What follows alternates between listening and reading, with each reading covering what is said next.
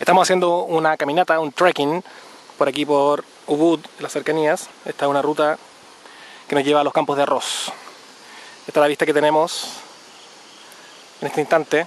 Hace mucho calor, son como las 12 y media del día, pleno sol. Vamos a hidratarnos un poco, esta es la PAM hidratándose. Y en realidad nos hemos encontrado con más de algún caminante como esos que vienen ahí ahora. Y una buena vista aquí.